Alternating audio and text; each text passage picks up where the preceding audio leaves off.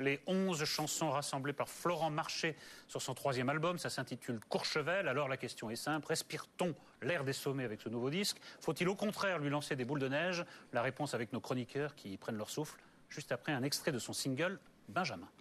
Benjamin est drôle et dire qu'il a mon âge, sur mon épaule. Son corps est un emballage depuis le temps.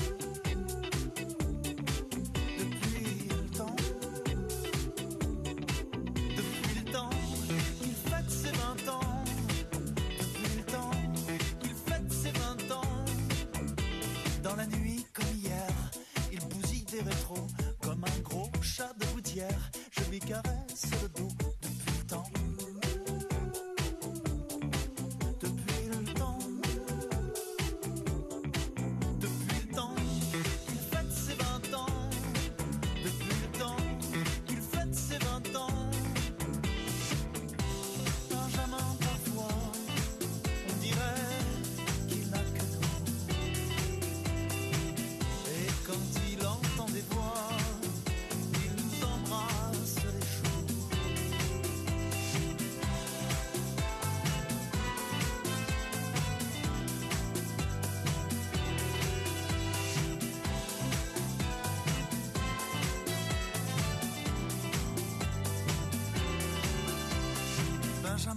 regarde la vie du bon côté. Il est comme un chien de garde de nos années de lycée.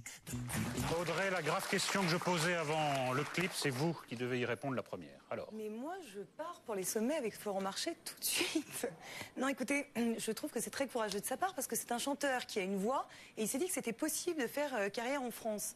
Et euh, depuis euh, les euh, Raphaël, Delerme, Biolay, on a appris quand même que la France aimait les chansons sans voix, les chanteurs sans voix. Or, lui, il écrit les textes. Alors, j'ai eu une petite angoisse quand j'ai écouté le début de l'album qui, qui commence, qui s'ouvre avec Courchevel, où donc on tombe sur une chanson un peu de chansonnier, où il, il fait un peu la petite chronique comme ça, de, qui belle rappelle chanson, belle chanson par ailleurs. Et après, ça s'envole au moment du refrain, et dès qu'il lâche un peu sa voix, j'ai trouvé ça très émouvant. J'adore absolument cet album, D'un bout à l'autre. d'un bout à l'autre. Parfait. Thierry, je crois que vous êtes Moi, je aussi. suis euh, un très grand fan de son travail depuis toujours. Euh, Rio Baril, Gargilès, c'est vraiment. Dire que Dans, dans cette chanson française-là, c'est quelqu'un qui a introduit une musique. Ah ben je sais. Ah mais il fait la musique. La tête de Jean-François Coppola, comme de il son non, travail. mais comme il y a, non, mais comme il y a aussi des romanciers, il y a des, il y a des musiciens. C'est, aussi un genre à part entière. parfait. Moi, jusque-là, je trouve rien non, à mais il redire, faut- mais- non, non, mais parce que c'est sûr que l'œuvre de Florent Marché est peut-être pas connue. C'est ce qui, ça la rend pas pour autant inintéressante. Bien au contraire.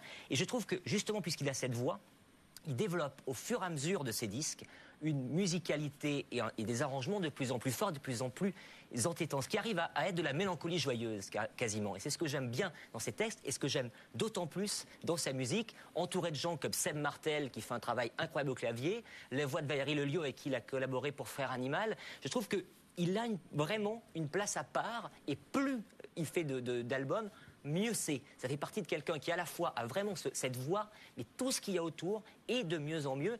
Et allez le voir sur scène. Parce que c'est encore mieux que ce qu'il y a sur le disque. Mais vraiment, moi j'attendais ça avec impatience comme à chaque fois. Et à chaque fois, je trouve que c'est toujours mieux. Une fois encore, c'est rare d'avoir un, un- un chanteur français qui a cette musicalité-là, à la fois dans l'oreille et dans la voix. C'est de mieux en mieux, c'est pour ça que je crois que Arnaud va attendre le prochain. Ah, j'ai détesté, moi. Je vous dis tout de suite, j'adore, euh, j'adore Vincent Delerme, j'adore Dominica. En général, d'ailleurs, c'est difficile d'adorer les deux. Moi, j'adore les deux. J'ai beaucoup de respect et très peu d'admiration pour euh, Mathieu Chédid. Et, et là, on a une synthèse des trois. J'ai horreur des pulls en jacquard, j'ai horreur de Courchevel. Et puis alors, je vais vous dire, il y a une chanson que je déteste, c'est la chanson sur Roissy, parce que les chansons sur les aéroports, c'est une grande tradition de la chanson française. Parce que celle de Brel, c'est de la daube. Ah bah oui, Orly. Ah oui. Non Oui, mais Orly, Orly, c'est de la daube. où Brel fait référence déjà à Beko. Ah. On est déjà dans une archéologie de la chanson sur les aéroports, puisque la chanson de Brel, c'est. Un euh, spécialiste de la chanson sur les aéroports, fallait le trouver quand même. ah oui, mais bien sûr. Mais il y a une tradition. Et là. Et, et c'est à la fois une chanson sur les aéroports et une chanson sur les téléphones. Alors la chanson sur le téléphone, c'est aussi tout un. Et il fait avec, il le fait avec Jane Birkin, qui avait fait un très beau morceau avec Serge Gainsbourg sur le téléphone. Tout ça est disgracieux et même euh, franchement déplaisant et oublieux de l'histoire de la chanson française. Et ben pour rester dans le thème, je vais donner la parole à un, un chroniqueur qui a un nom d'aéroport, JFK. Oui. Voilà.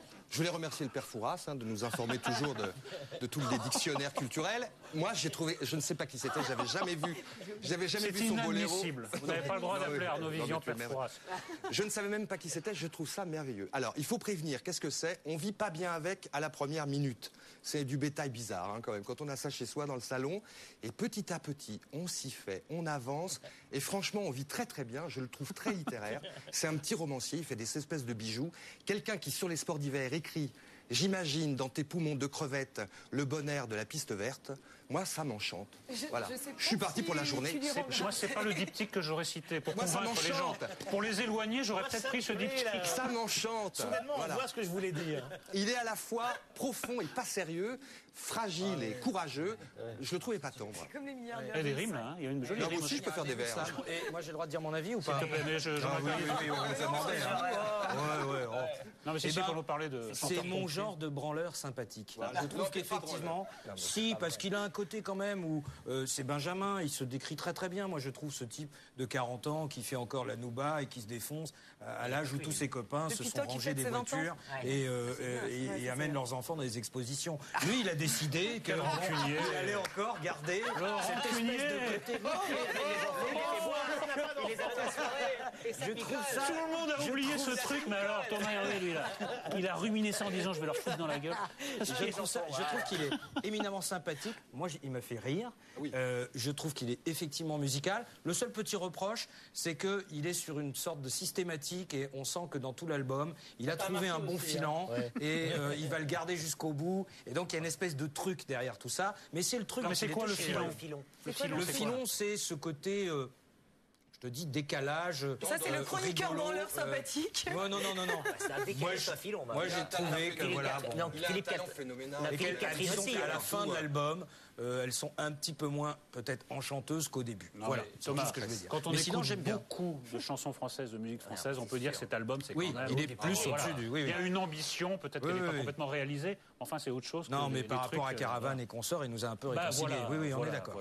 Et d'autres. Bon, bah, je vais l'écouter. hein. Bah voilà. Bah oui. Enfin, un chanteur français qu'on va écouter, Jean-Marie Perrier. Vous ne serez pas venu pour rien.